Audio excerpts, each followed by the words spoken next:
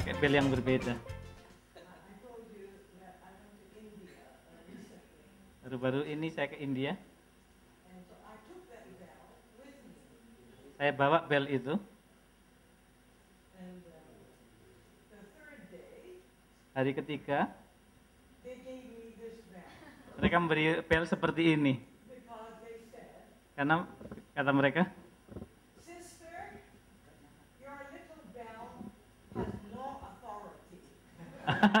Ibu bel Anda tidak punya kuasa di sini. Thank you. Shall I t- begin again? and uh, it's true that this bell is louder, Ya, bel seperti ini memang lebih keras, it is clearer. lebih jelas. Uh, so, you know that this morning, the first story I told you about in the Gospel of Mark is about Jesus' authority. Oke, Pagi ini saya bicara tentang kuasa Yesus di Markus pasal 1. Now, just because you talk loud does not mean that you have authority. Kuasa tidak ditandai dengan suara yang keras. I know some people who always talk loud, Saya kenal ada orang-orang yang and it, biasa i- bicara keras. it is an outside authority, Kuasa ex- sekunder kan, external. eksternal ya. Uh, but there is nothing inside that earns people respect. Kuasa seperti itu, eksternal seperti itu tidak bisa mendapatkan respect orang. Now, I'm very sure that when Jesus stood up to teach that day in the Saya synagogue, percaya pada hari itu kita Yesus berdiri mengajar di Singanagog, he did not say dia tidak berkata, that the Lord is very much in control. Tuhan begitu, pegang kendali. You can depend upon him for everything. Tidak dengan luyu pokoknya. You know very well that he didn't talk like that. Yesus tidak bicara luyu seperti itu.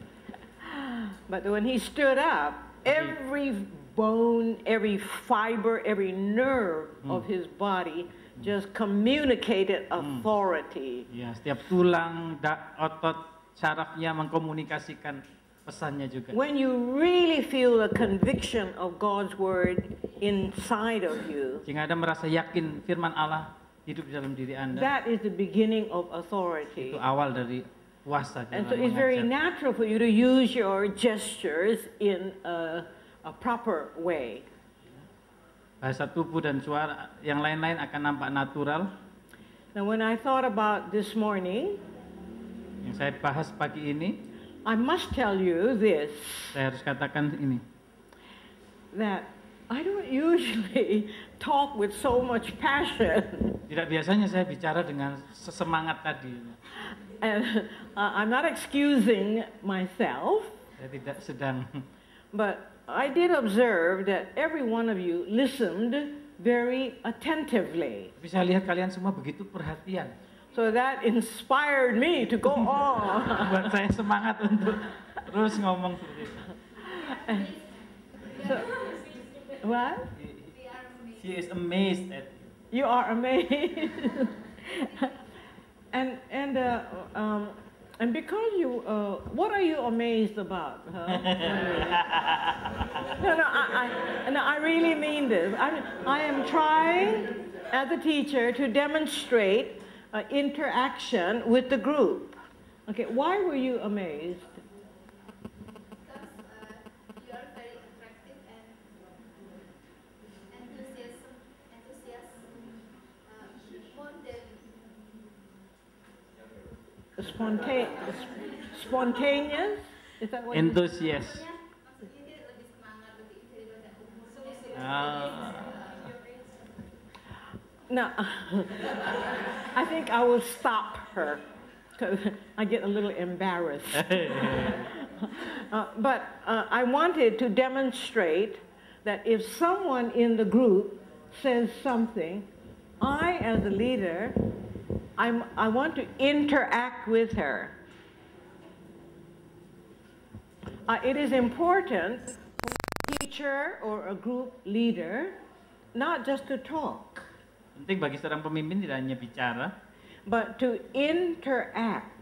juga berinteraksi dengan orang yang dipimpin. You watch Jesus in the gospel. Yang kalian lihat pada diri Yesus dalam kitab Injil, The first lesson that we're going to look at today pertama yang akan kita lihat is about Jesus as a teacher. tentang Yesus sebagai seorang guru.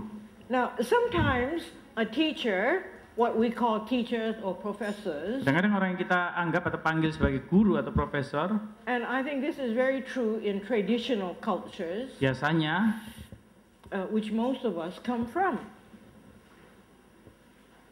Which most of us come ya from. biasanya dalam tradisi kita sosok guru atau profesor itu seperti The traditional teacher talks, talks, talks, talks, biasanya talks, mereka hanya talks. bicara, bicara dan bicara.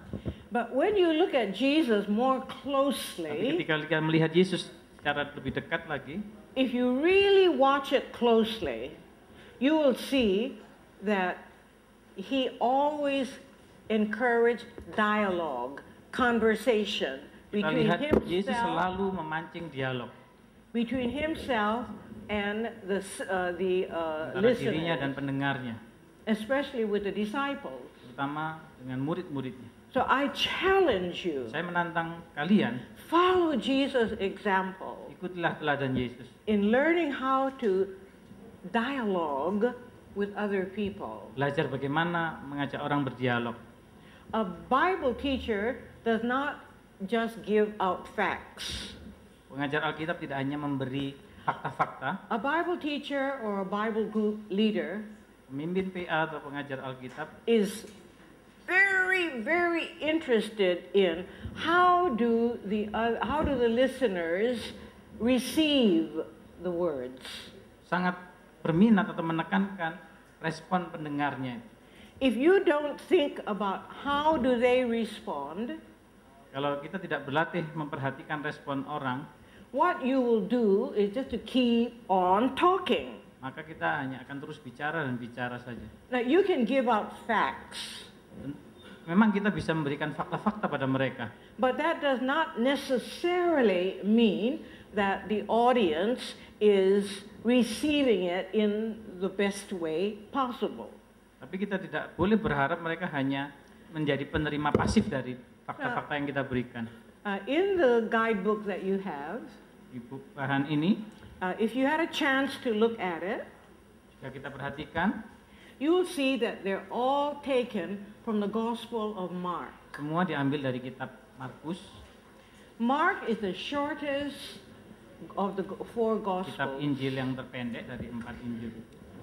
It is only half the length of the longest go- Gospel. Panjangnya separuh dari Injil Now, does, any, ya, Lukas. does anybody happen to know which of the four is the longest Gospel? Yang terpanjang Lukas. Luk, Okay, it is Luke. It is almost twice as long. kali lipat panjangnya dari kitab Markus.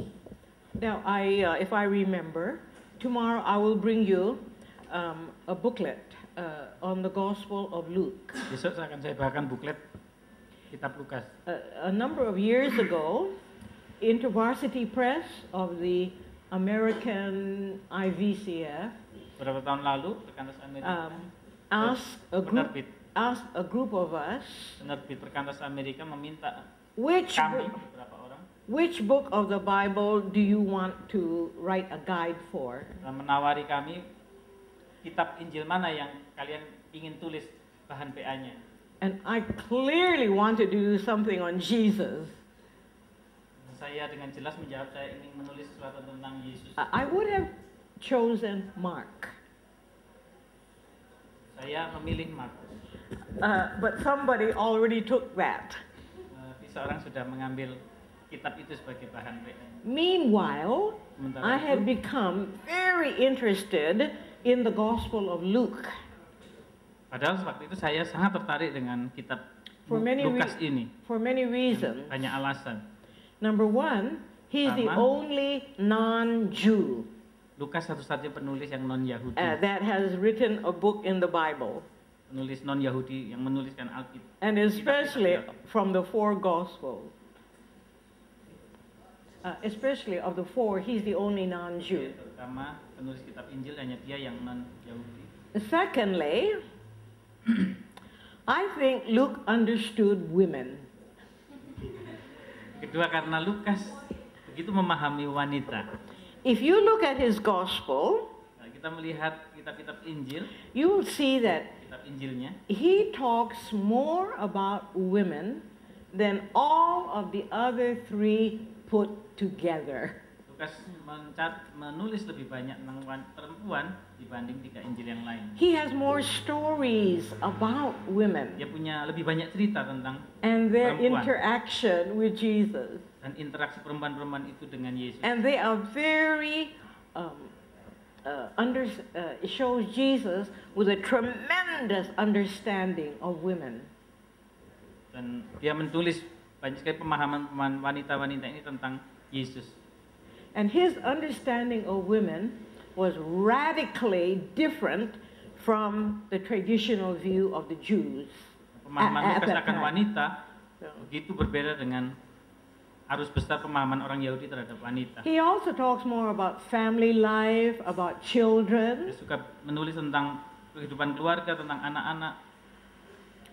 He talks more about the poor and how Jesus ministered Dia to menulis the lebih poor. banyak tentang orang miskin, bagaimana sikap Yesus terhadap orang miskin. Now, it is because of Jesus' heart for the poor that I was very glad to come back here to Indonesia Karena hati Yesus yang kepada orang miskin lah yang membuat saya juga kembali ke Indonesia ini.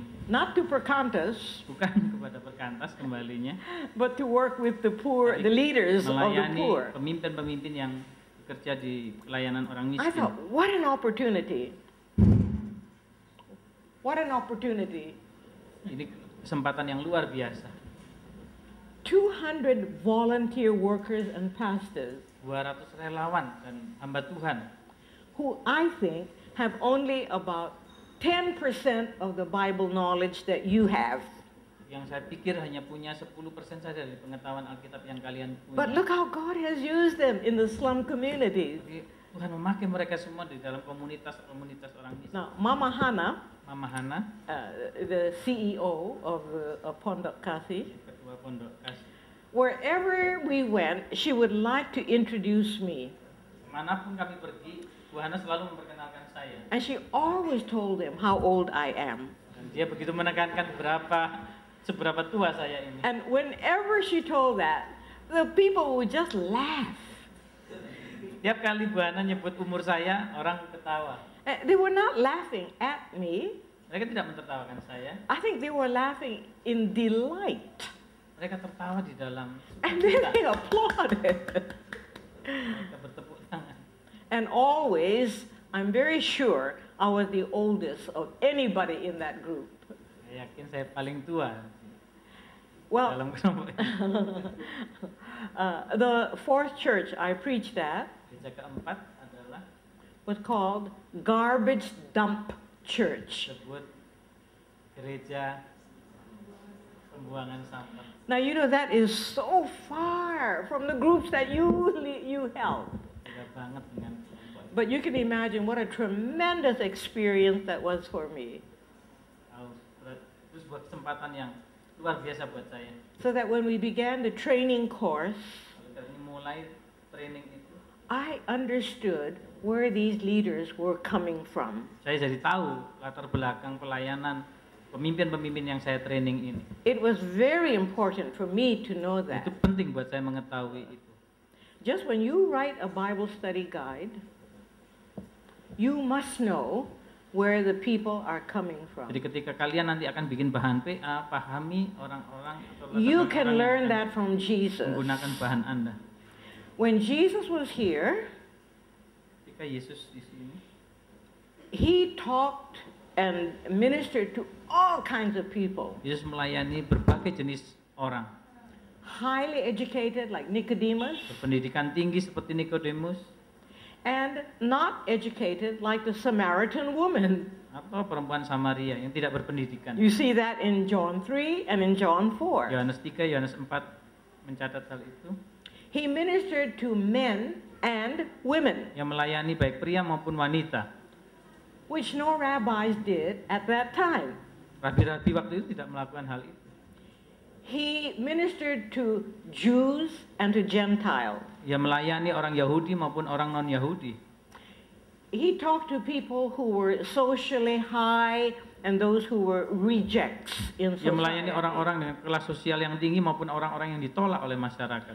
Now, in your ministry, Dalam I, pelayanan kalian, I know that you are ministering to a very highly select group.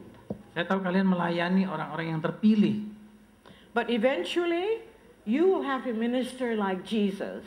Tapi pada akhirnya kalian akan punya pelay- pelayanan seperti Yesus, tidak seperti to sekarang. any and everybody that God sends to you. Kepada siapa saja yang Tuhan utus kepada kalian. Now, I believe that Luke caught that more clearly than e- either Matthew or Mark or John. Saya percaya Lukas melihat hal itu dengan lebih jelas dibanding ketiga penulis Injil yang lain. In many ways, I think that's my personal opinion. Luke, to me, was the closest to Jesus' mentality and outlook and attitude. Dalam pandangan saya pribadi, saya melihat Lukas yang lebih mendekati apa yang menjadi yang dipikirkan oleh Yesus, concern Yesus tentang orang-orang ini. Well, that's why I like Luke. Itu sebabnya saya suka Lu- Injil I Lukas. think he caught the spirit of Jesus. Dia menangkap spirit Yesus ini. And more than anything else, Luke understood the humanity of Jesus Lebih in a dari semua way. itu, Lukas memahami kemanusiaan Yesus So he presents Jesus as the perfect man. sehingga ia menampilkan Yesus sebagai manusia yang sempurna. He shows Jesus with the struggles Yang of our humanity. Yesus juga bergumul dengan sifat-sifat manusiawinya. Of course, he believed that Jesus was the Son of God. Tentu ia percaya Yesus adalah anak Allah. All four Gospels writers do. Penulis Injil pasti meyakini itu. But I think Luke brings out his humanity much, to me, much more clearly. Tapi Lukas menunjukkan lebih sisi kemanusiaan Yesus itu lebih dari tiga Injil yang Because he lain. shows the struggles of Jesus that I don't think that the other through three do as clearly. Karena dia menunjukkan sisi kemanusiaan Yesus itu tidak sejelas dari tiga Injil yang lain. And there are reasons why there are four Gospels.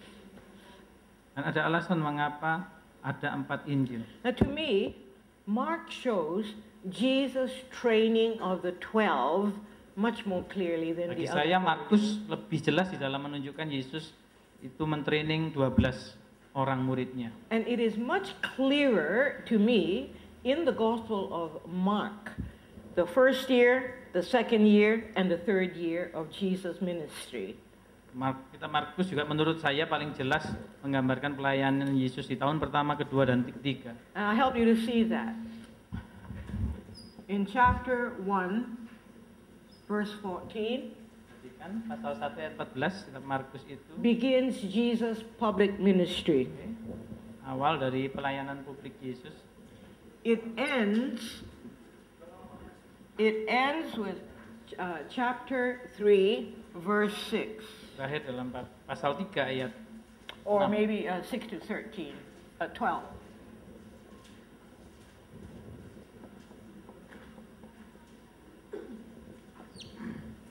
The second year tahun kedua pelayanan Yesus begins mulai di pasal in- 3 with chapter 3, verse 13 ayat 13, 13 and it ends with chapter 6, verse 6a. hingga pasal 6 ayat 6a.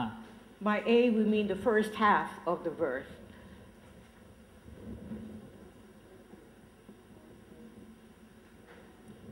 The third year Tahun ketiga pelayanan Yesus begins with catat di 6 pasal 6 ayat B, 6b and uh, it ends with chapter 16, pasal 16 verse uh, what is it 20.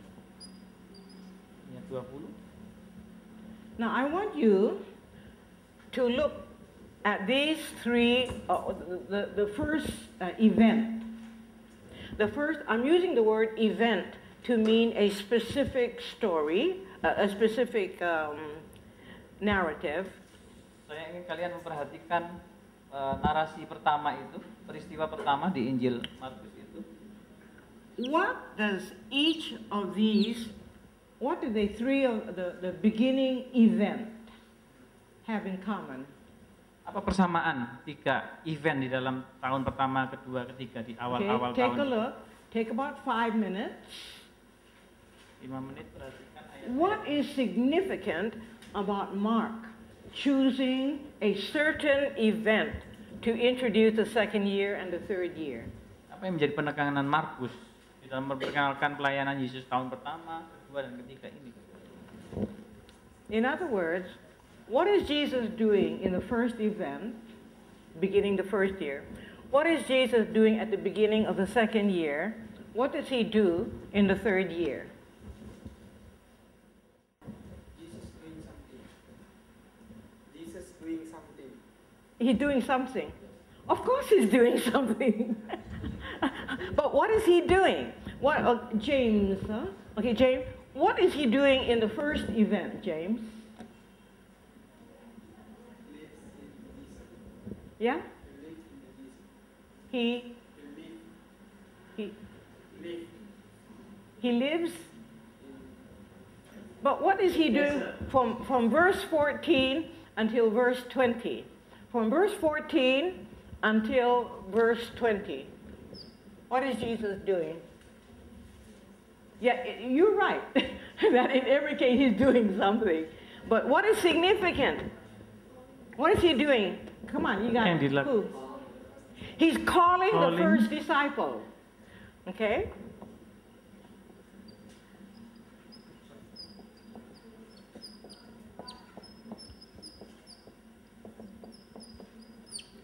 Because these four become part of the twelve. Karena empat murid pertama ini jadi bagian dari 12 murid. So what Mark is telling us is that these four disciples, uh, they represent the twelve.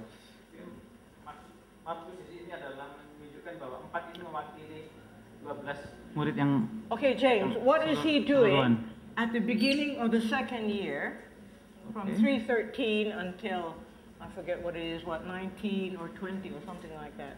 What is he doing? calling the twelve disciples. Okay, in this, he appoints the 12 apostles. By the beginning, uh, uh, during this first year, he has collected many dis- uh, disciples. kedua Yesus memilih 12 murid. Tadi memanggil banyak. Now, what's the difference between a disciple and an apostle? Apa bedanya murid dan rasul? Okay, talk about it in your small group. What's the difference between a disciple and, uh, and an apostle? Okay, I, I can tell that you're not very clear. Clear nah. What is a disciple? Anybody? What is a disciple? You can tell um, by the word itself. What is another word that is uh, Eh, we get out of this word? Learner. It doesn't. It does not. Well, it, that's not primarily. But if you look at the word, at least in English, you see disciple. What is another word? Discipline. They're connected. Same word. So that gives you an idea of what a disciple is. Oke, disciple artinya dari kata akar katanya disiplin itu. Okay. Now you said follower. Uh, that is a sec- uh, that's true. But the word itself, the word itself, what does it mean? Just the word disciple. Disciple. What is another word? I don't care whether it's English or Indonesian. What is it? Student. A student. A follower is right because if you are truly following Jesus, you are learning from Jesus. Uh, so that's, that, that's a very good one. Yeah, please. Oh, you just oh, taking the camera. Okay. okay.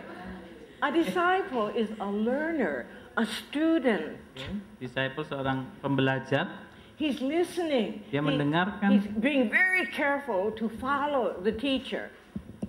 And if you read, oh, okay. Dia mengikuti gurunya dengan penuh perhatian. If you read from chapter 1 Jika kalian membaca dari pasal 1 until chapter Sampai pasal- uh, 3, the end of the first pasal year, 3, eh you will see that in these three chapters, Kalian akan lihat dalam tiga pasal ini, that these disciples, they don't, they're not doing anything. para murid ini tidak belum melakukan Now apa-apa. I say they don't do anything. Of course they were they were learning, they were following, they were observing Jesus. Mereka hanya belajar saja dari Yesus, maksudnya itu belum But you don't see them doing anything else. They're learning, learning, maksudnya learning, belum learning. melakukan apa-apa selain belajar dan belajar itu. The beginning of the second year, Awal dari tahun kedua pelayanannya, by this time, Jesus has hundreds of pada disciples. waktu itu Yesus punya ratusan para murid. Uh, other parts of the gospel where I can say that confidently. Itu But from among the hundreds of disciples, He chooses ratusan 12. murid itu Yesus memilih 12 rasul ini. well, what is an apostle? Jadi apa kata apa Okay, you talk about it ini? among yourselves. What is an apostle? You must learn this. This is a fundamental difference, and yet they overlap.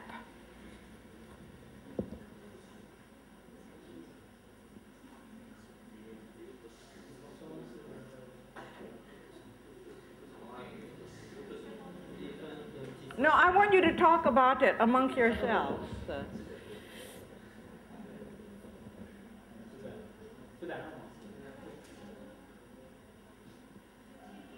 Hey, you are staff workers. You are not beginning beginners.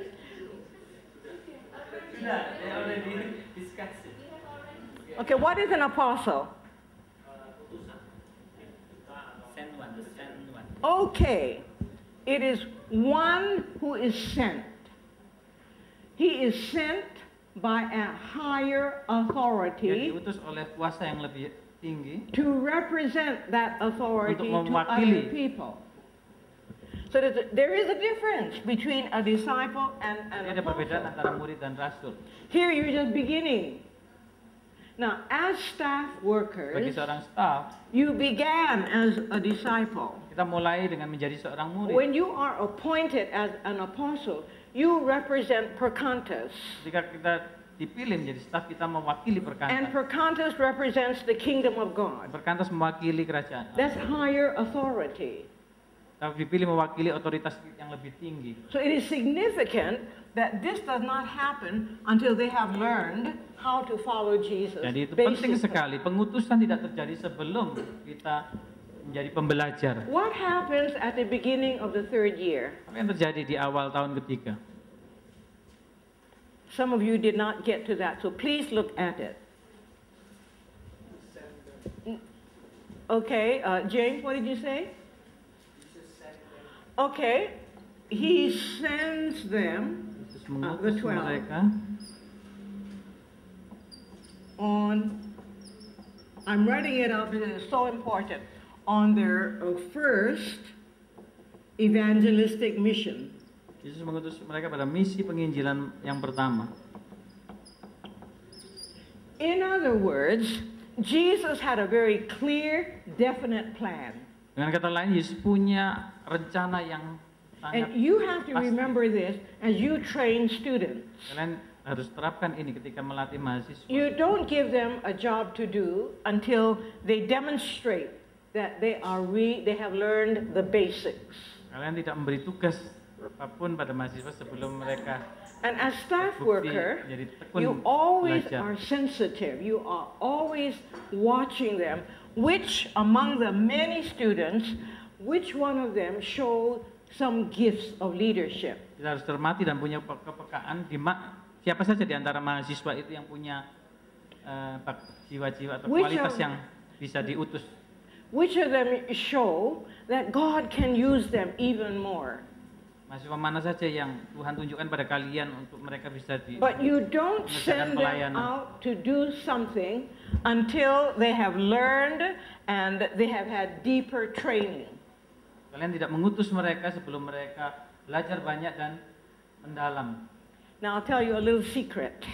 Saya beritahu It has, rahasia it has become very popular in American churches for young people to go out on a short-term mission. Di gereja-gereja Amerika populer sekali ada orang muda, orang muda pergi ke melakukan misi My church does it. Jangka Every, pendek. my church does it all the time.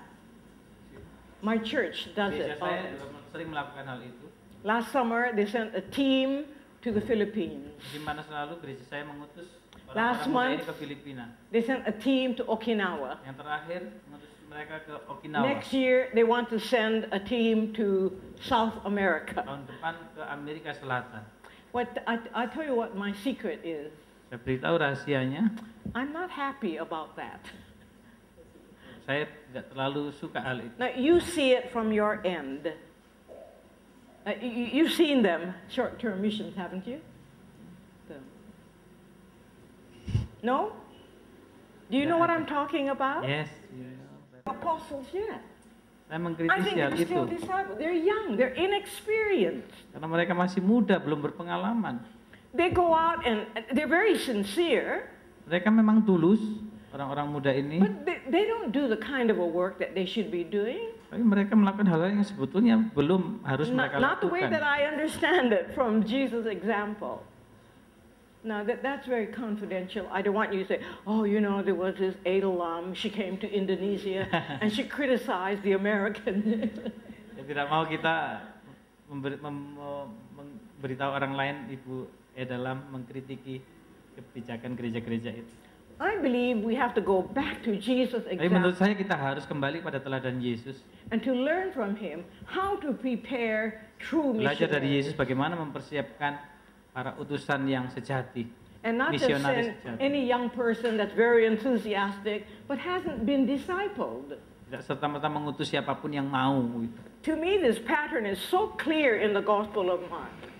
Tapi harus memuridkan mereka seperti yang jelas nampak pada Injil-Injil itu. Book of Acts is about. Itu isi kitab kisah para rasul. Not until Jesus had trained them is the church uh, uh, is born into the world. Gereja tidak lahir sebelum Yesus melatih para rasul ini. Selesai melatih. Now, this is a way of telling you that your job as staff worker is very serious. Itu cara saya memberitahu kalian bahwa tugas kalian itu begitu You must penting. follow what Jesus Kalian did. harus mengikuti teladan You Yesus make ini. sure Pastikan that your students para mahasiswa Anda really itu know the basics. betul-betul mengetahui hal-hal They know dasar. things like Colossians 3:16. Tahu kalau ketika 16 ini You begin to give them responsibilities. kita mulai beri You give them, mereka some- tanggung jawab. you give them something simple at first, Mulai dari hal-hal sederhana, and when they do well, ketika mereka bisa melakukan hal then you sederhana give them itu, more kita beri responsibility. tanggung jawab yang lebih besar You lagi. watch them. Dan kalian amati mereka. You know what I see Jesus doing? Yang dilakukan That Yesus. he taught Ia mengajar, and he fed thousands of people. Ia memberi makan ribuan orang. He discipled Ia memuridkan hundreds of people. ratusan orang. But he chose only 12 Ia memilih hanya 12 orang. in a very special way to take over the work when he died and was resurrected. untuk mengambil alih tugas di dalam And dunia ini. amongst the 12, Dan di antara Jesus 12 orang ini, focused Yesus fokus on three pada tiga murid, tiga rasul. Peter, James, and John. Petrus, Yakobus, dan Yohanes. And the Gospel of Mark shows that very clearly. Injil Markus menunjukkan hal itu dengan jelas. Every once in a while, he would choose only Peter, James, and John to observe and to experience something that the others did not have. untuk me- mengalami hal-hal atau mengajarkan hal yang murid-murid yang lain, rasul yang lain tidak mengalaminya. And then he concentrates on one. Antara tiga ini Yesus juga Who is that one? fokus pada satu orang ini. Siapa? Yeah, Simon Peter. Now, when you see this, I think now you can think, oh, yeah, of course. But what we need to do as Bible students is not just see one event. There really, throughout the Bible, is only one story. Um, well, I'm trying to help you to see the big picture of what it means for staff workers to follow Jesus in the student Saya ministry. sedang memberikan gambaran besar buat kalian apa artinya menjadi seorang staf di dalam mengikut teladan Yesus ini. I think we need to, foc- to, to concentrate on this part more. Saya pikir kita harus fokus pada hal-hal You have to be orang-orang tertentu. sensitive. Kalian harus peka, You have 20, 30, 40 students. misalnya kalian punya 30-an mahasiswa. But which among them Siapa di antara mereka are like the apostles? seperti 12 You rasul spend more time with them. yang kepada mereka kalian spend waktu lebih banyak. You give special lessons to them. Kalian ajarkan hal-hal khusus pada mereka. Okay, now let's take a look at what happened at the end of the first year, what happened at the end of the second year, perhatikan what happened at the end of the third year. Bagian terakhir dari tiap tahun Oke. pelayanan Yesus itu. Di akhir Six, tahun six minutes, 6 menit, about two minutes for each masing-masing 2 menit. of the first, ye- uh, second year and the third year. Jesus is doing something significant with his disciples. That is what they all have in common. Jesus is deliberately training the 12.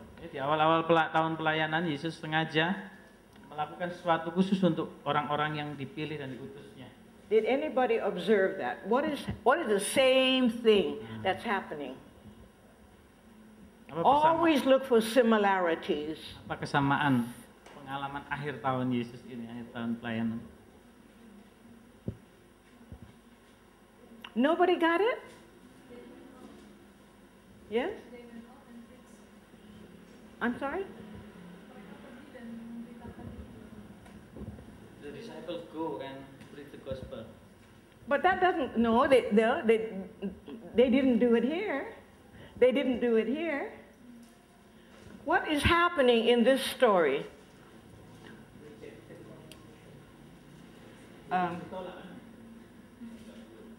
I'm sorry, that, that, that was not a very good one. Um, one to six. What is happening in this event? Look especially at verse six the end of the first year.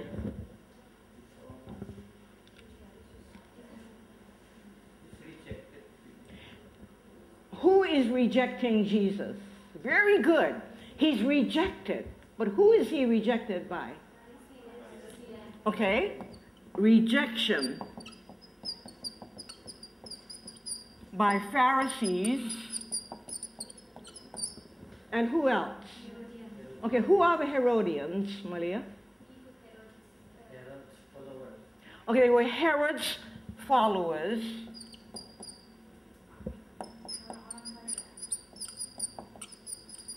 And you know what's interesting?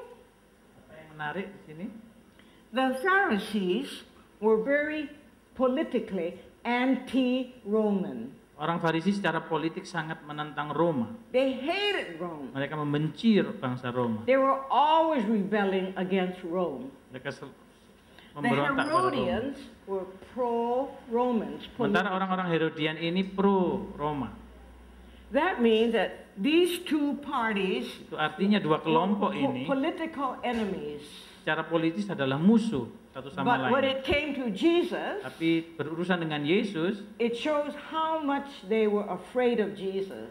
mereka punya persamaan yaitu takut pada Yesus. They forgot about their political Dia melupakan differences. permusuhan di antara mereka. And they allied, they partnered mereka bersekutu in order to get rid of Jesus. untuk mengusir Yesus. So already at the end of the first year, it's very clear these are very influential people, Oke, jadi jelas di akhir tahun pertama ini, both religiously and politically. ya, baik orang-orang religius maupun orang-orang politik We've got to kill him. ingin membunuh We've Yesus, got to get rid of him. ingin me- melenyapkan Yesus. He's making it hard for us to, in, for our position.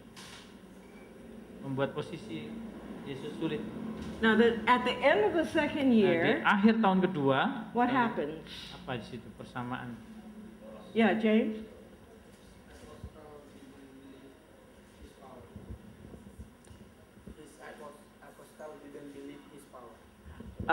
Apostles? Is it the apostles who don't re- who, there is rejection also, but who is rejecting Jesus? Yeah. What? Okay, he's rejected by uh, his uh, extended family. Extended family, his hometown. They reject him. What about the end of the third year? Gimana akhir tahun ketiga? I have chapters 14 and 16, but you know that story. Who rejects him?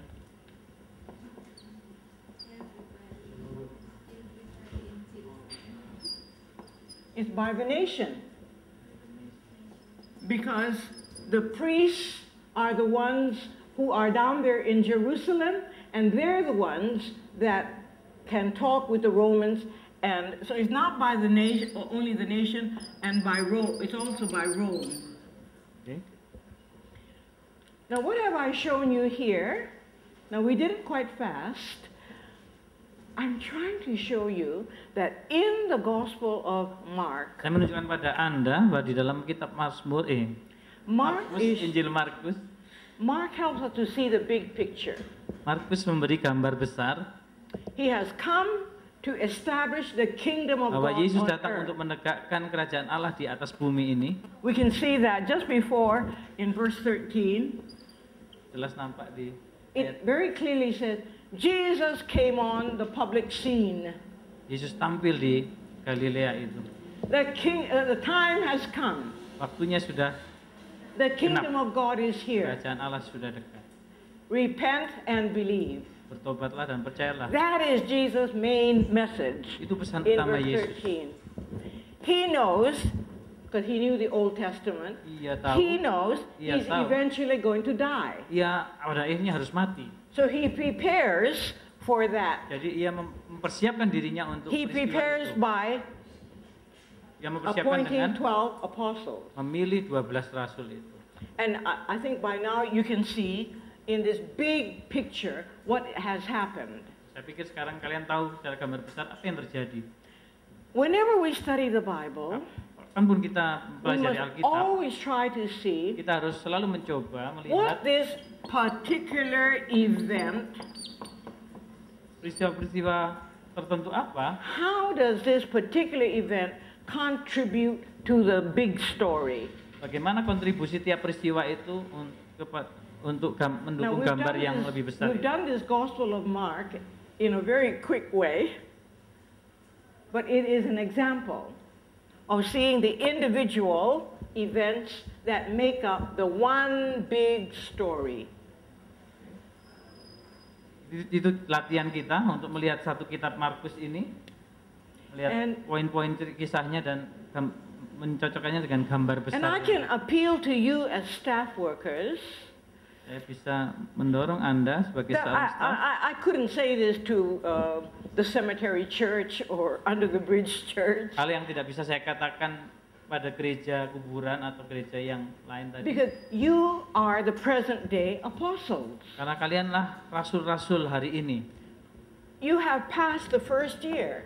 Kalian sudah melewati tahun pertama. Some of you have just begun your second year. Berapa dari kalian memasuki And some of you are in the third year. berapa di tahun ketiga? And you will see that from, from this time on, from chapter 6 on to the end of Mark, that Jesus is spending more and more time with the 12. Kalian lihat di akhir-akhir tahun Yesus More and more, you, menghabiskan lebih banyak waktu untuk more and more, para you- rasul. more and more, you will see that Mark will say, after he left the crowd, they went into the house, and the disciples asked him, What do you mean by that? Berulang kali Yesus ketika ditulis mengundurkan dari orang dari orang banyak, ia menghabiskan waktu dengan para Or murid. something like this. As they were walking along the road, Atau ketika Yesus berjalan bersama para muridnya, Jesus asked them, What were you arguing about? Yesus bertanya, apa yang kalian ributkan? You know, Jesus knows when we're arguing about amongst ourselves. Jesus juga tahu apa yang sedang kalian See, pertengkarkan. and that's an example of how many questions did Coco, how many questions did Jesus ask in the Gospel of Luke? Buku tadi I, this morning. 80, 80. 80. Just 80. No, no, no, no. That's what he said. Okay, 100 But, but then what did I tell you? That in the Gospel of 114 questions. I don't think you're impressed with that. I'm impressed. Impressed? Um, you, you don't know the word impress? I know. Oh, okay. Okay. I am trying to impress on uh, what I started to say this morning. Jesus taught people a lot by Yesus questions. mengajar orang dengan banyak bertanya. And unless you understand this, you're not going to be able to write good Kalau kita Bible tidak memahami hal ini, kita kurang bisa menjadi pemimpin. We are not, when we write. Bible study guides, we're not just giving facts that we like. Karena dalam membuat bahan PA kita tidak hanya memberikan fakta yang We're kita trying suka. to help people to read the text thoughtfully.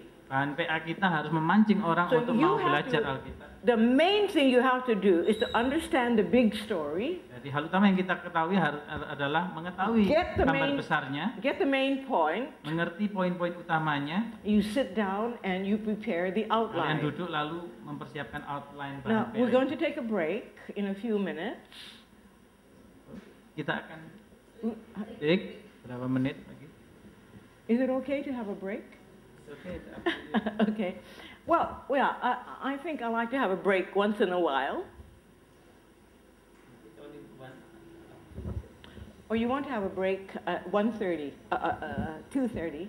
Oh, okay, okay, okay, okay. I'll give you more work to do. Saya berikan tugas lagi. um, what we're going to do is, for the rest of the afternoon, I'm going to have you go through this book very quickly and then to look at the details. How do we prepare a Bible study guide? Oke, sampai sore nanti kita akan perhatikan bagaimana kita mempersiapkan bahan PA. Now, I could have begun by saying, let's start with it, 8 o'clock this morning. Let's start with lesson one. But you have to have the background. You have to know the overall aim. And it's not that simple. Tidak akan me- menjelaskan satu persatu, menuntun satu persatu nanti. I Kita harus berusaha menangkap poin utama dari semua training ini. I know that you know that. Saya tahu kalian tahu hal ini, That's why you have this training extended for three days. sebabnya training ini dirancang tiga hari. Uh, we meet tomorrow. Um, now, this morning when I, uh, sometimes I would ask you, do you have any questions? Pagi ini ketika saya bertanya, kalian ada pertanyaan? And nobody had Tidak ada yang questions. bertanya. So, I don't think you are used to my style, Saya tidak berpikir kalian belum terbiasa gaya saya. but you have become more used to it.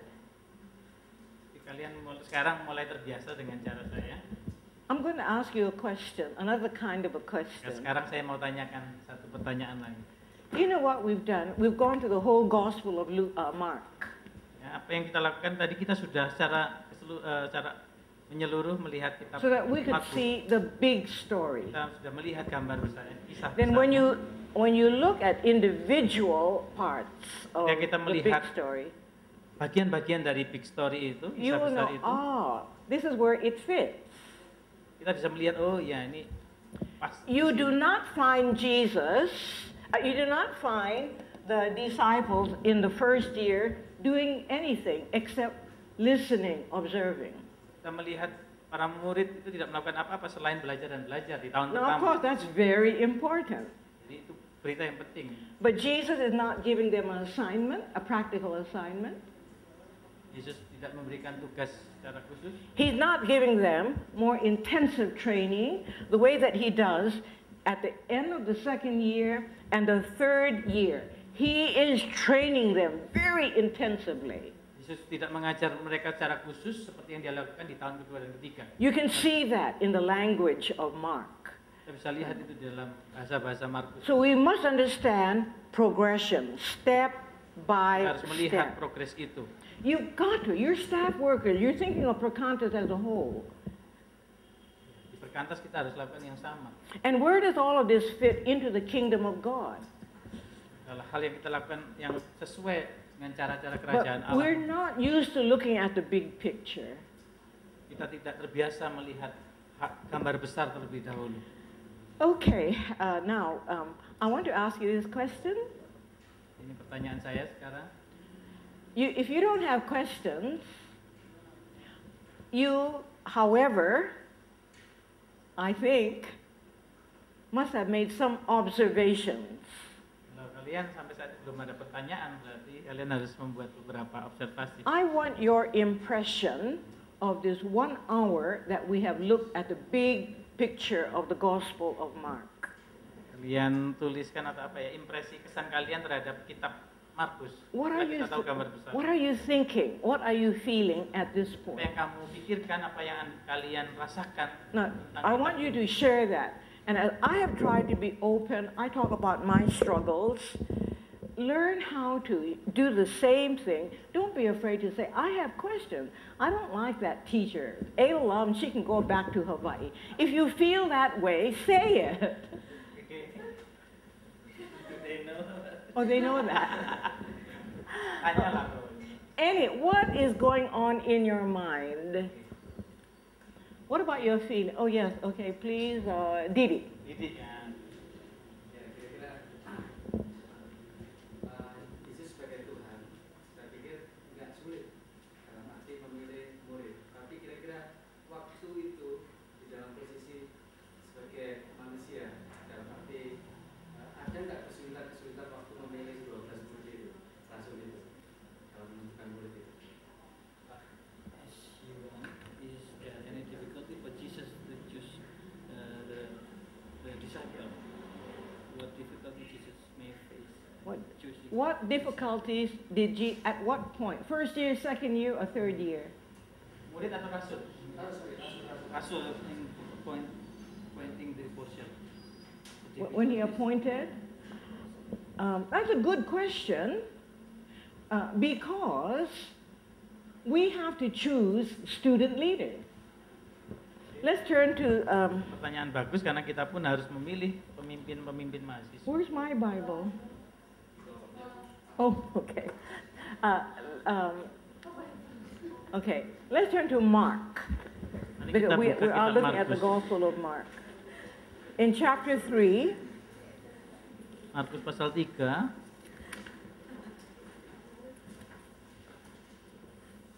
13, ayat 13. the beginning of the second year. Awal tahun kedua pelayanan Yesus. Now it says, Jesus went on up on a Katakan di sini mountainside Yesus naik ke atas bukit and called to him those he wanted. And they came to him. Oke. Ayat 13 itu. Now, verse 4, uh, uh, but if you look, keep your finger there, turn to the Gospel of Luke Tandai yang bagian ini terus buka di pasal in chapter um, 6 verse fif- uh, 12. ayat 6 sampai 12. Okay, would you read that, please? Verse 12. Uh, yeah, uh, 12 and 13. Terus 12 ya. 12 and 13. Oke. Lalu pergilah mereka memberitakan bahwa orang harus bertobat dan mereka mengusir banyak setan dan mengoles banyak orang sakit dengan minyak dan menyembuhkan mereka. Did you read 13 also? Ya. Pasal 6 ayat 12 13. Lukas. He was reading Mark. somebody else read it. Please, somebody else read it quickly. Pada waktu itu pergilah Yesus ke bukit untuk berdoa, dan semalam-malaman ia berdoa kepada Allah. Ketika hari siang memanggil murid-muridnya kepadanya lalu memilih dari antara mereka 12 orang yang disebutnya rasul. Okay, now look back to verse uh, in the Gospel of Mark and compare how, what's the difference between Mark and Luke when they describe the same event? Take about three minutes, two or three minutes, I'll follow you. What's the difference? Okay, that's a good start. What else is very different? Apalagi yang Uh, So, yes, please. What, what did he say? praying all night. He, that Luke says he prayed all night. Mark doesn't say that. Now, that's okay. I'm not criticizing Mark. no. But there's something very significant. I told you a little while ago that Luke's gospel emphasizes the humanity of Jesus. Itu yang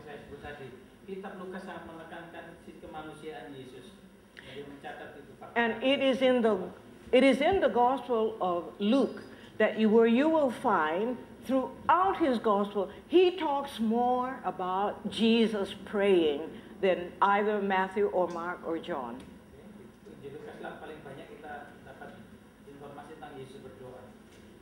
It shows how very dependent that Jesus was on his Father. Menunjukkan Yesus begitu bergantung untuk mengandalkan Bapaknya. Before every crisis in the Gospel of Luke, you will find. Jesus praying Kita akan membaca di sana Yesus berdoa. all night. Doa sepanjang malam. Okay, now in answer to uh, Didi's question, Oke. I want you to discuss why did he pray all night? Menjawab. What did he have to pray about in choosing the 12 from amongst hundreds of disciples? Untuk menjawab pertanyaan Mas Didi tadi kita harus berpikir mengapa Yesus perlu berdoa semalaman untuk memilih 12 di antara ratusan murid itu. What does he have to consider very practically? Apa yang harus dipertimbangkan secara praktis untuk memilih 12 Another rasul? way of asking the question is, what is his criterion for choosing the 12? Apa kriteria untuk memilih 12 rasul ini? And why? Why this criterion? Mengapa perlu kriteria seperti itu? Now, this is so important that I want you to discuss it more in depth. Okay, take about five, six. You really need half hour, but I'm going to give you Oke, 5 menit untuk berpikirkan about five, six. I'll watch you. If you are keeping on uh, uh, to discuss, I want to give you all the time you need. What is Jesus doing all night when he's praying to the Father? Please show me which one. Of, what does he have to do? How is he going to choose them? Okay? You do it. Now, turn around in a group of three. Some of you are just sitting in a way where you're not looking at one another. turn around in groups of three so you're looking at one another. Yes. Okay, let's go around. Uh, okay, you want to begin uh, Chuchuk, huh? Oke, Mas Didi akan Oke. memulai. Oke, the result of the discussion, of the group discussion. What? The result of the d- group discussion. Well, give me one thing. What is one uh, factor that Jesus has to consider in choosing the 12? Okay, one or two ya, terserah kalau. Oke. Speak long enough and I will Huh? I will uh, summarize that. You, You- will talk long. You want to summarize everything? No, no. I, he let me to summarize. Or he wants you to summarize? Yes, he will speak long. No. I, I want each one of your group to give me one thing. Oh, langsung aja to the point.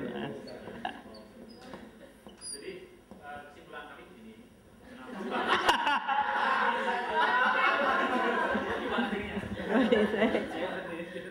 He what? yang diperhatikan Tuhan Yesus itu karena ini berkaitan dengan masa pelayanan Yesus yang hampir berakhir dan yang harus meneruskan pelayanannya maka eh, apa namanya kualitas kualitas ya kualitas orang itu harus eh, apa namanya Nah, jadi berkaitan dengan keyakinan mereka kepada dirinya bahwa dia Mesias dan juga berkaitan dengan keterampilan karena orang ini akan dipercaya dan menentukan. One of the criteria is they must uh, con- must convince that Jesus is the Messiah.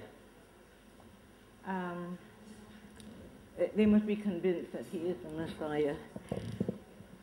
Um, you can tell I am hesitating. Saya ragu bahwa jawaban itu benar. Uh, no, I think it's a good um, consideration. Timbangan yang baik. But if you follow the Gospel of Mark, jika kalian mengikuti kitab eh, Markus ini, it is not until the third year baru di tahun ketiga, when they are up there in Caesarea Philippi, ketika di Kaisera Kaisera Filipi itu Jesus deliberately takes them away from the crowds membawa mereka ke tempat Sunyi That's in chapter 8 of Mark. pasal 8 dari kitab And he asked them, Markus. Who do people say that I am? Baru di situ murid-murid yakin Yesus Mesias. See, he's having a Bible discussion. He knows what people are saying. Oke, Dia tahu. He wants dikatakan. them to answer. Dia minta mereka sendiri menjawab. And that is why, Chucho, you say, well, you know, Ada, you give the, uh, you give the summary. Oke. Sebabnya kurang tepat kalau di yang And I said, no. I want you to tell me. That's what you must do in your Bible study group. You can give them the answer, but you want them to participate. You want them to articulate what they have discovered. Oke. Jadi sebetulnya pas juga mereka tidak hanya menjawab tapi juga menjelaskan argumennya tadi.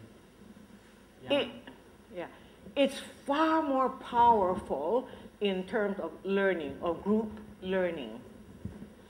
powerful kalau ini terjadi orang berbicara dan menjelaskan argumennya. The more people articulate, the more powerful is that lesson for them. Makin banyak or- peserta PA itu bicara, itu makin banyak juga pelajaran yang mereka dapat.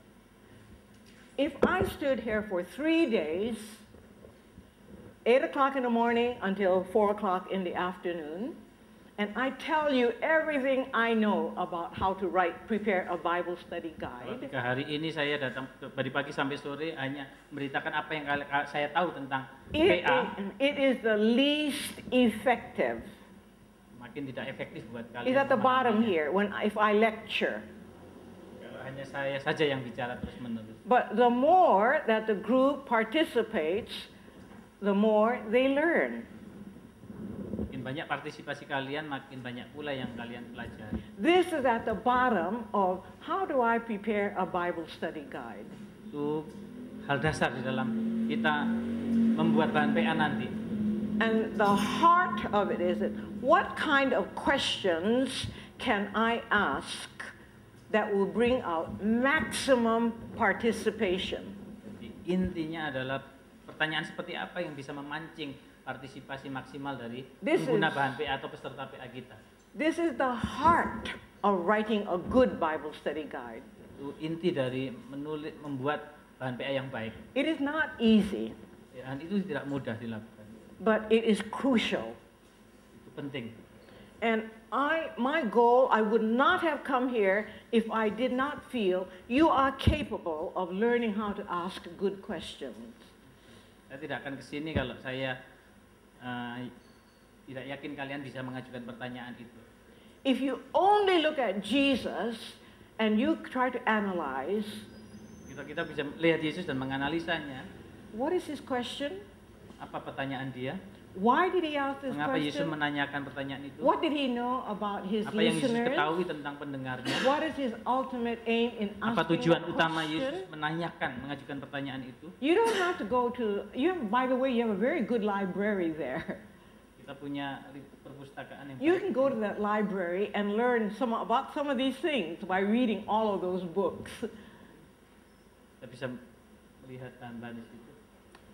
Uh, but if you only look at Jesus himself, you, you just reflect on this very, like the series of questions that I gave you, you will learn more about how to ask good questions the way that Jesus did.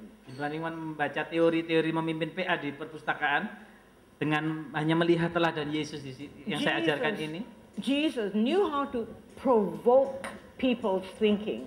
lebih strategis ini karena Yesus memancing orang untuk berpikir. Jesus was never asking just give me give me back facts.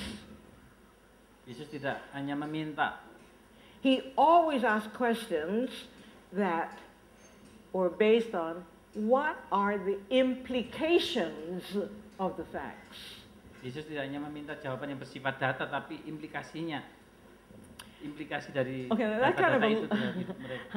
now in answering Chuchuk's uh, my response to Chuchuk's question or, or, comment saya terhadap komentar itu, is that at this point, the beginning of the second year they have had only one year of observing Jesus.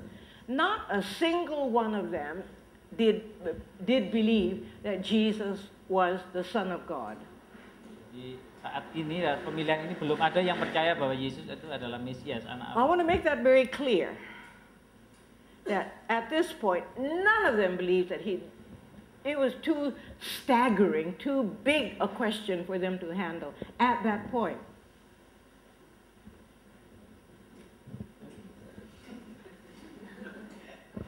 Now, I want to be sure that the simplest ones really understand this. Okay, okay, okay, okay. However, if you heard Chuchuk's comment, he said, the Messiah. He did, uh, did I hear correctly? You did not say the Son of God. You said the Messiah. Is that right, Chuchuk?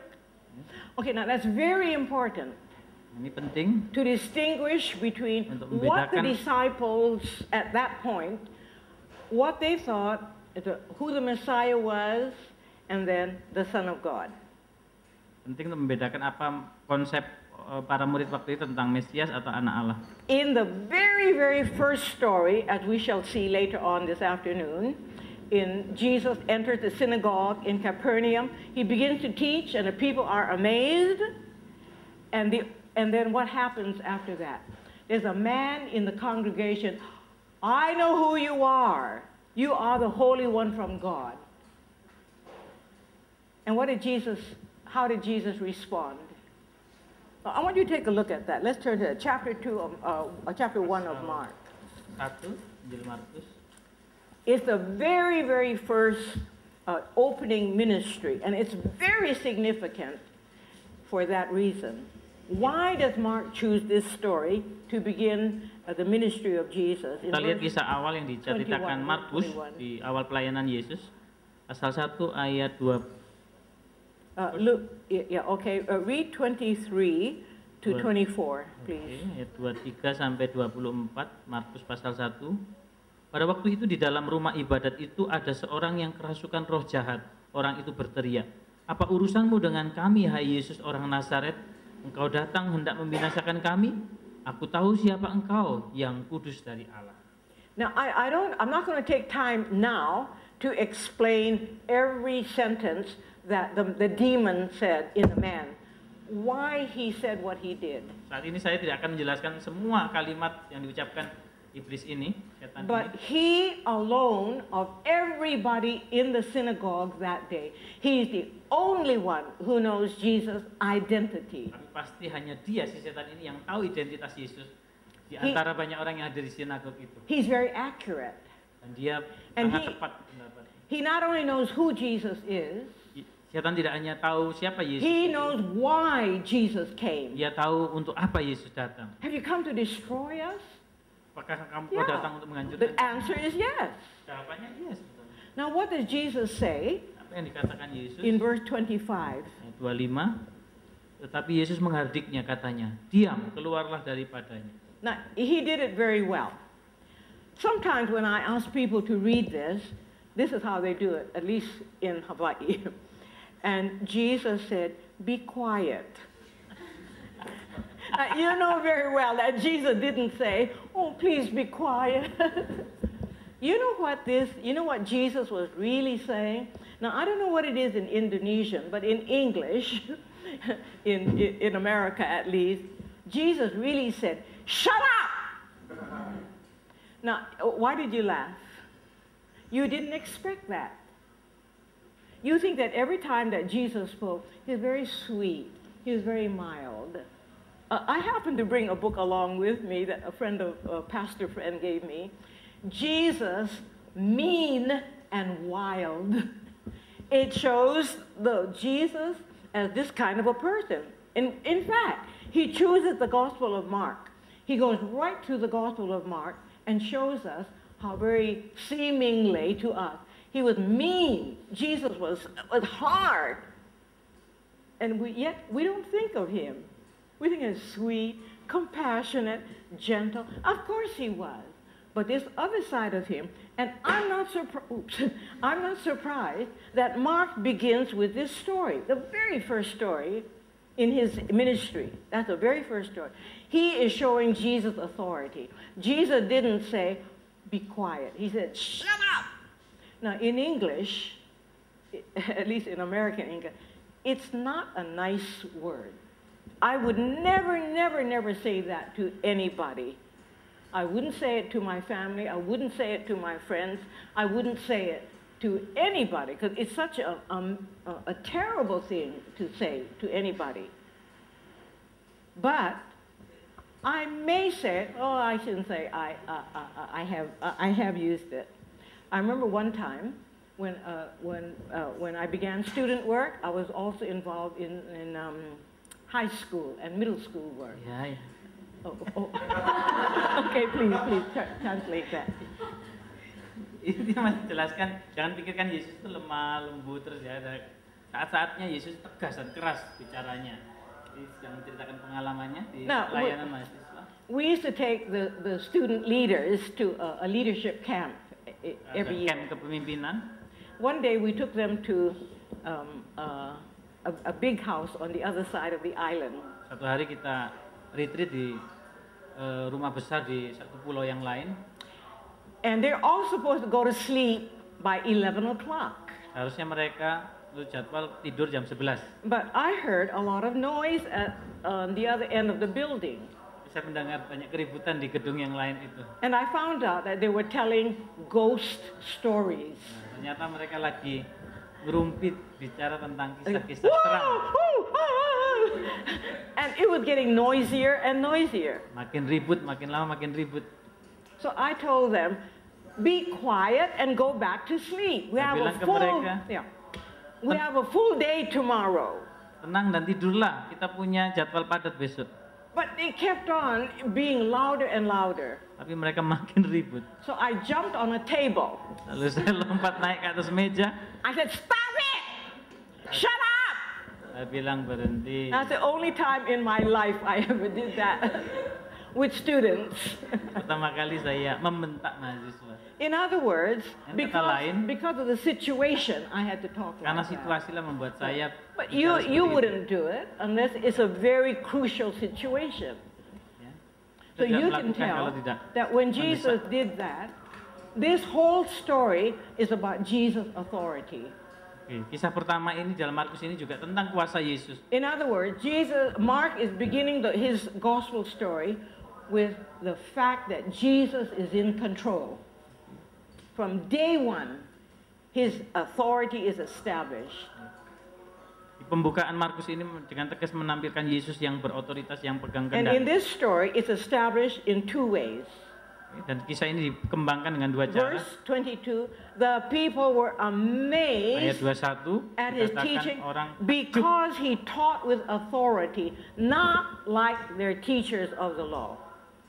Karena Yesus mengajar berbeda dengan eh, pemimpin atau orang pengajar yang lain. Now, in those days, a teacher had to, uh, if he was a teacher from God, it was expected he could do some kind of a supernatural work to show physically that he was he had God's authority. Pada zaman itu orang yakin kalau orang itu pengajar itu guru itu dari Allah, dia pasti bisa melakukan hal supernatural. Now, I, I, maybe I'm being presumptuous, Mungkin ini hanya dugaan saya, but I think you accept my authority. tapi menurut saya kalian saat ini sedang mengakui otoritas yang saya miliki. But I haven't done anything miraculous. Tapi saya belum melakukan haven't. mujizat apa pun. I have not shown to you some kind of objective work out here that proves I have God's authority. Saya belum melakukan hal-hal yang secara objektif bisa disimpulkan kita, saya punya And I, kuasa thi- yang I think you know why. saya, saya pikir kalian tahu mengapa. Because since that time, Karena sejak saat itu we have the Holy Spirit. kita punya Roh Kudus, I have the Holy Spirit. saya punya Roh Kudus, You have the Holy Spirit. kalian punya. So when I speak by the grace of God, Ketika saya berbicara di dalam anugerah Allah, I want to say, as humbly as possible, saya mau katakan dengan rendah hati, that I believe you accept my authority. You saya recognize percaya I have kalian God's menerima dan mengakui I have God's saya authority to teach. Allah. So, And you have the Holy Spirit to recognize that. Kalian punya Roh Kudus yang membuat kalian peka akan hal. Now, what I am saying is that this is the kind of authority every one of you must have. Ini yang saya katakan ini satu jenis kuasa yang setiap kita harus You are not just a disciple, Kalian tidak hanya murid, you are an apostle. kalian rasul-rasul You represent the authority of the greatest being. yang besar. When you go on the campus, Jika kalian kembali ke kampus, if you're teaching a big group or you're talking just to one person, mengajar kelompok besar maupun kelompok you do kecil, that by the authority given to melakukan itu you. dengan otoritas yang diberikan kepada So the question of authority is very fundamental. Isu tentang kuasa ini sangat mendasar. And that is why I believe Mark Itu begins with sebabnya. Markus memulai Injilnya dengan And so that Jesus demonstrated his authority by casting out the demon. Yesus mendemonstrasikan kuasanya dengan mengusir That was a very clear sign he had Itu tanda God's yang jelas bahwa dia punya kuasa Allah itu.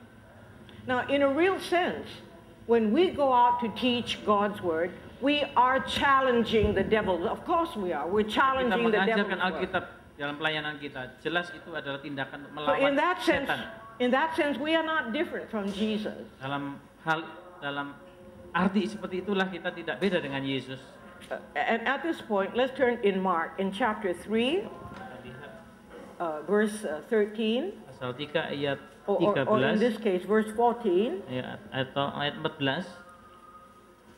Now, Mark has something that Luke does not have, Ya, Markus punya sesuatu yang Lukas tidak. and that catat. is he gives the reasons why Jesus appointed the 12.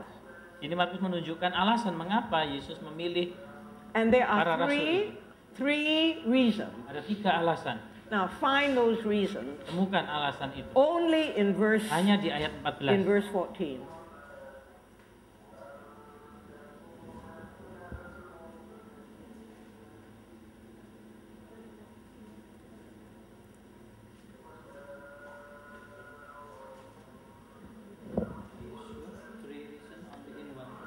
Now, Iwan is challenging my authority.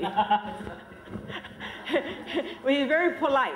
Come on, come on, come on, translate that. Saya tanya, Anda yakin hanya di ayat 14 tiga?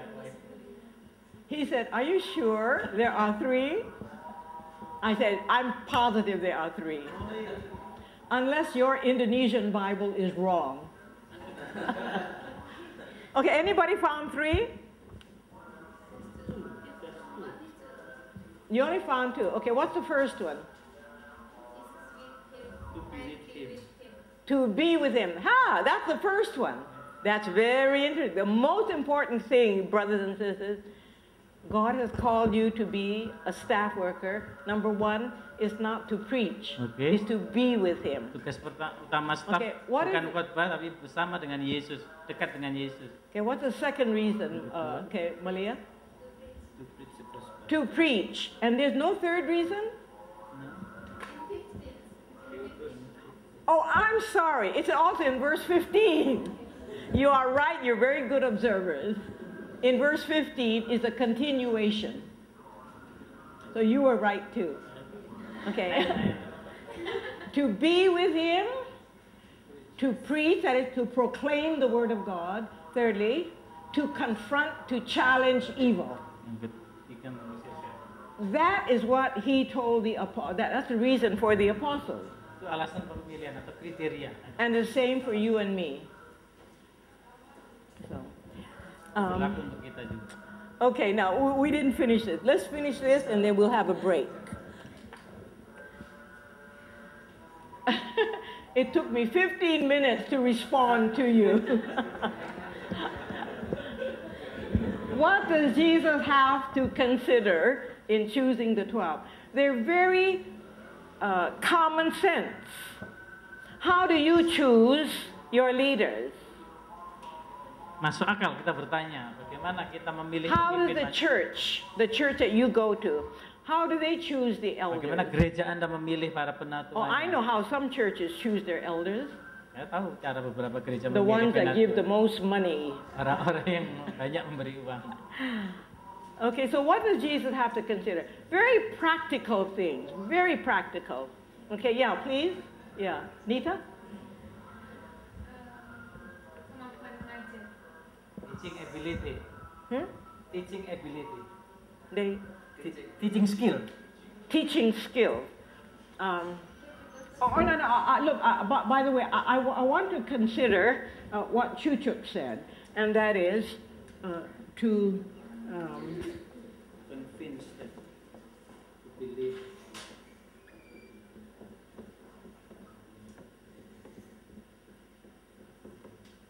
now I took a long time considering that option, because at first I thought he was saying uh, that uh, they must believe he's a son of God. And I find that that's how most Christians interpret uh, uh, at this issue.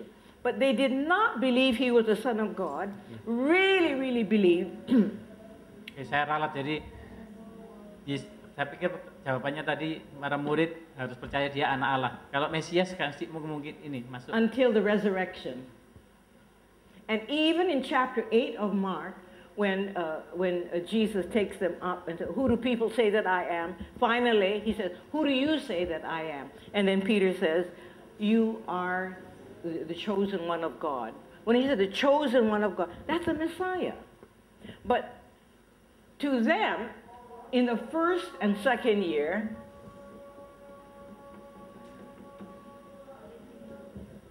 they believed in a political Messiah. So that even up until the night before Jesus died, they still believed that Jesus was the political Messiah, taking them down to Jerusalem with a big crowd, overturning in, in, in, uh, in a revolution, kick out the Romans, and re establish Israel's political independence. That's what they thought of as an, uh, the political Messiah. Bahkan di hari Yesus ditangkap, mereka masih yakin bahwa Yesus adalah Mesias secara politis itu. And I think that today that's what most people are looking for when they choose a leader. Itu pola itu tetap aja ada yang mengikuti hari ini ya ketika I memilih mean- pemimpin. I know that Obama was here last month, Saya tahu Obama di sini. and I know Saya that you have, Indonesians have a special relationship with Saya him. tahu Indonesia punya hubungan khusus And dengan of course, in Amerika. Hawaii, we have a very special relationship to him. Sama juga Hawaii. Now, I still think he's a good man. I really do. Saya masih berpikir He's not, sama per- orang he- yang baik. he's not perfect, Dia tidak sempurna, and he has some great gifts, dia punya banyak talenta. but he's also, uh, we think that he's very like a professor. Uh, he's like a professor. Ya, He talks like a dia professor. bicara seperti seorang profesor. He's always teaching us. Dia suka mengajari gitu. He, he, he doesn't give you the impression, from my point of view, of being a great political thinker. Menurut saya dia tidak men- menunjukkan And that is why in America, uh, only 45% of people now trust him. Sebabnya hanya 40% saja sekarang di Amerika yang Why? percaya kepada dia. Because we're all looking for a political messiah. Ngapa? Karena rakyat itu ingin pemimpin yang Look, punya I lived besar. here before when, when Sukarno was still in leadership. but you weren't even born yet. Uh, every country, that's what we're looking for. We're looking for a political messiah. Okay, now the second one, Nita. Oh, I, I forgot. I'm sorry. What, what, what did she say? The second one. Eh, teaching skill. Um, okay. And I would say this is all potential. Because remember, this is only the beginning of the second year. To have potential to teach and preach. Okay, uh, next group, please. Uh, okay, your group. Yeah, please.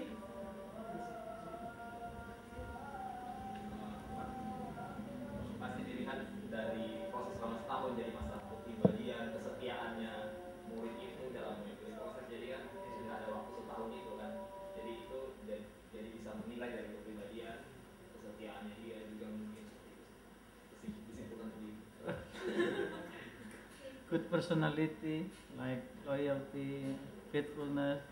Oh, all of those things. Can you stick to just one? Uh, when you say to have good personality, um, um, I'm trying to uh, trying to how how to deal with it. Um, you know, all of the things that you say come, I think, come under this. Uh, Menurut saya yang kamu bicarakan tadi bisa dirangkum satu kalimat ini.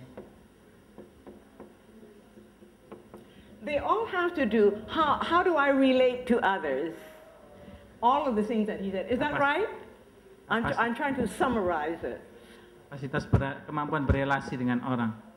But the, the reason I don't want to say to have good personality is because you and I have certain ideas uh, about what that means. Jadi kita tidak pakai istilah eh, kepribadian yang bagus karena beda-beda istilah eh, istilah yang sama kita bisa beda Yeah, maknanya. Somebody who's very charming. Mungkin kita membayangkan orang yang He always, menarik, sa- selalu he always menarik, says the right things at the right time. selalu ngomong yang tepat di waktu yang He knows tepat. how to make you feel good. Pinter bikin orang well, no, that's not bad. It, it's not that there's a wrong, it's wrong. But basically, it's how do I relate to people?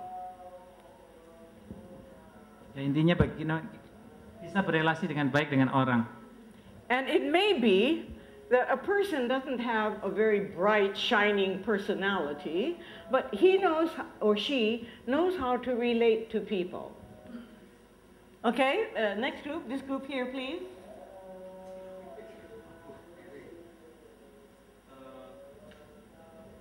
karakter yang baik What did you say? What about character? Choose one. What kind of character? That, what? Faithful? Um, okay, to be dependable, huh? Uh, um, to be faithful. Okay, that's, yeah. Now, I like this word, dependable. And the reason that sometimes when we use the word faithful, you know, we think of it in a super spiritual way. Oh, I really believe God. When we talk about being dependable, that's a little different. It's related to it, but it's a little bit different. Okay. Dependable juga bisa mencakup kata setia juga, tapi ada kelebihannya. Now, come on, now you finish. The sooner you finish, the sooner we'll have a break. Okay, yeah, the, uh, the, uh, this group. Look, um, um, you know, Fenty and Apona. Don't let Malia do all the talking. Come on, you talk. Committed, committed person, totally committed. Well, I wonder if that's not the same thing as being faithful. If we are faithful, now this is all potential. So, now there are some, uh, yeah, yeah, the, the, the last group, please. mau ngerespon Wow, merespon. What? Ke apa yang mana? able to teach Oh, What? What? ability to respond. Uh, easy to respond, able to respond. to be responsible. No respond appropriately. Um, okay. Well, wouldn't that be number three? Quick in response. Oh, quick in response. Um, okay.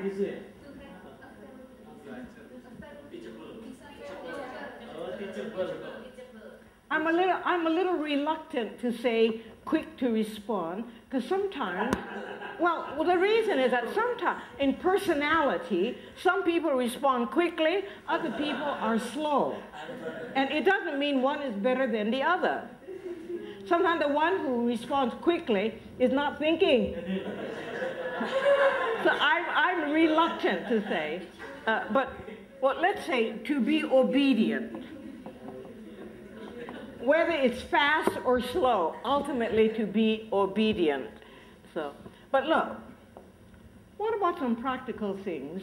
For instance, when you look at the list of the 12 apostles, and every one of the four gospel writers Even Luke doesn't have it, but later on he has it in the, in the book of Acts. Ya berarti kan daftar nama 12 murid itu, 12 rasul itu. I want to emphasize the fact that so important is the, the, uh, who the apostles are that all four writers include a list. Matthew, Mark, Luke, and John. They all have a list. They all begin with Peter, they all end with Judas. Semua di, nama pertama adalah Petrus, nama terakhir adalah Yudas. Why Peter? Why is Peter always put first? Mengapa selalu Petrus di And yet he was not, I, I, I don't think he was very good in relating to people. um, I'm not very sure that, you know, he uh, was obedient, but he had the potential.